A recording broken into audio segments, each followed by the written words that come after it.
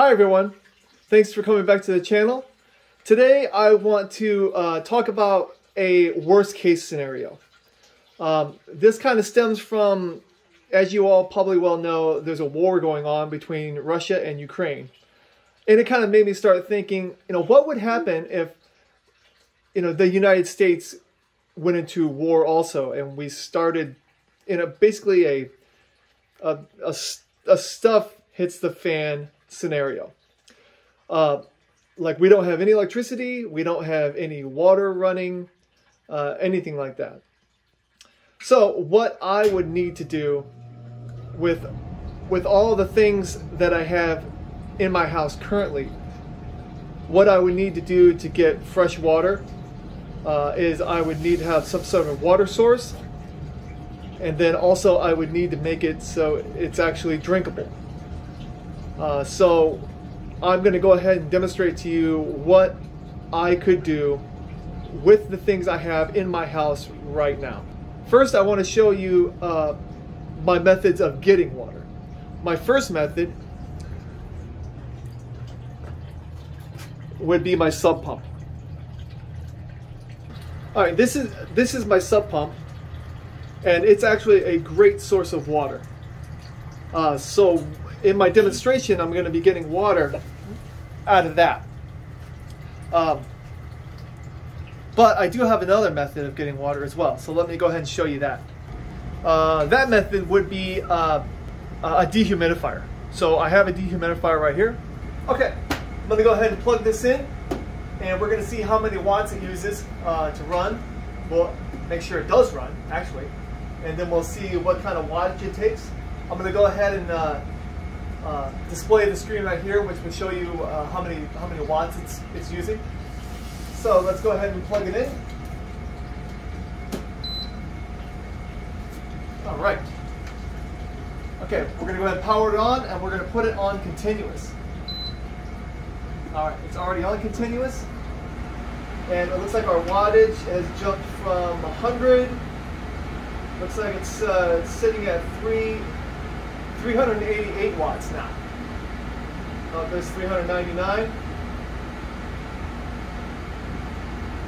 So 400 watts. Let's just say 400 watts. So this thing uses this this thing uses about 300 watts of electricity per hour. So currently, I would be able to run this all day while the sun's out. Because uh, you can see on the screen that that 300, that 380, 400 watts is being generated directly from my solar panels. My battery is not my battery is not really being discharged much at all. It's being discharged by 30 watts. No big deal. This would be a very inefficient way of getting water, but in a uh, in a really you know worst case scenario, this is an option that I have. Like I said, my other option is my sub pump. This would be the preferred option. This does pull a lot of groundwater, so it would be a great source to be able to pull water out of it in case of a worst case scenario. Okay, I'm gonna I'm gonna grab a small bowl uh, and get some water out of that sub pump, and then I'll put a thermometer in the water to show you the temperature of the water straight from the sub pump. Okay, and I'm just gonna fill it. I'm just gonna fill it about halfway. Um,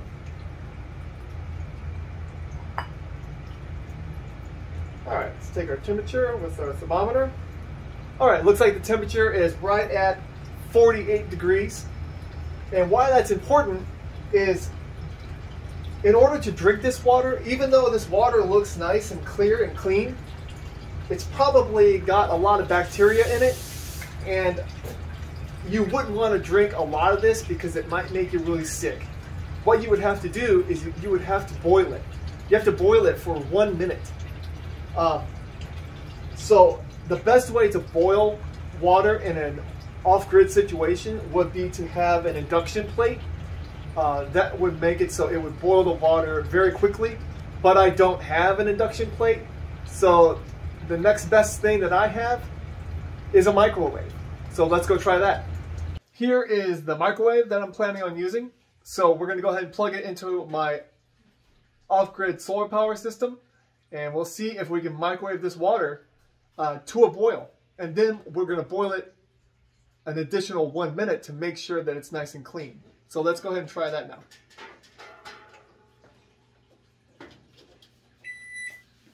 Okay. All right, turned on. Uh, I'm gonna go ahead and put the screen right here so you can see uh, the amount of wattage that this is going to generate. I'm also planning on microwaving this water for, we'll microwave it for five minutes uh, to see if that gets it to a boil. And if not, then we'll have to do it an additional minute or two to, to really make sure that it's uh, all the way up. So let's go ahead and, and start.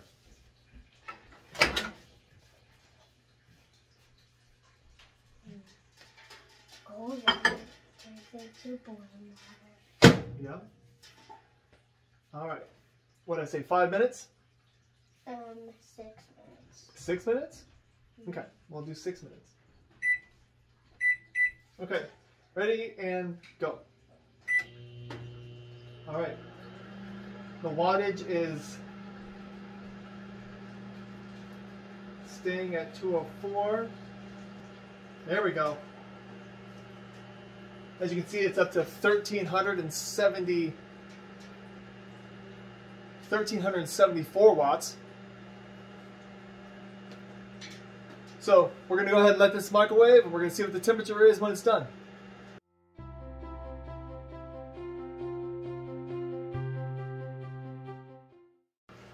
Okay, we're halfway through the microwaving process. Uh, we have about three minutes left. But what I do want to show is on the screen, we're using 1370 watts but we are actually pulling 1128 watts straight from the solar panels. So this microwave is actually only pulling about 200, 230 to 240 watts from our batteries. So again, while when it's a nice sunny day outside, you can use you can use a microwave if you have enough solar panels. You can use a microwave uh, it's, it's pulling all of its electricity from the sun.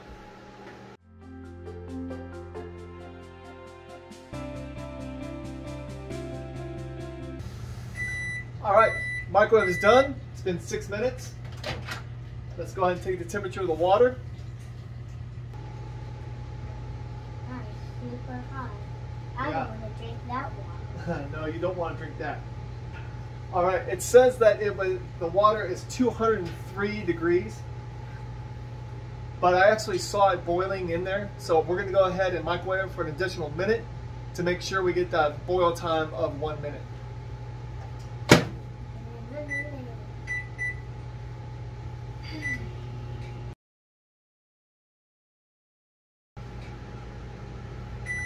Okay, water is boiled for another additional minute.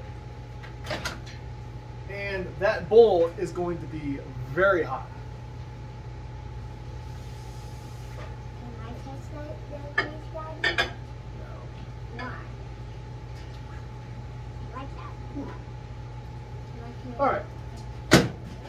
But as you can see, you can microwave your water uh, in a microwave off grid for, you know, what I did, I did for six minutes, and then I did it for an additional minute to make sure that I get that minute of boil time.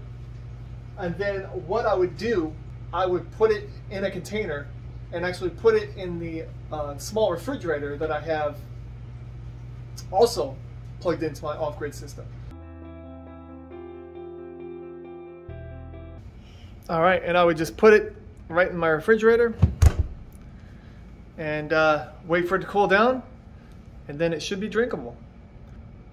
So if you have any questions, uh, please leave them in the comments. Um, if you like this video, please hit that like button, and uh, and if you want to see more of this content, please subscribe. It'd be great.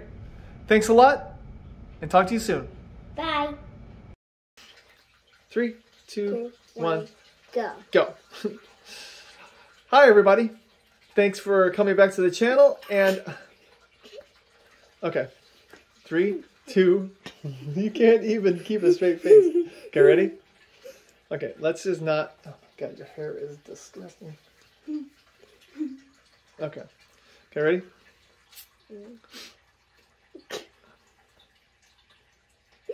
It's so quiet. Okay, ready? Okay, Yeah. we're gonna start talking. Ready? Yeah. Okay.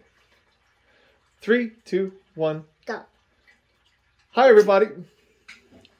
Keats. Just trying my best. I know. hmm Okay, ready? Three, two. Okay, let's just do it. Okay, let's just do this. Okay, ready?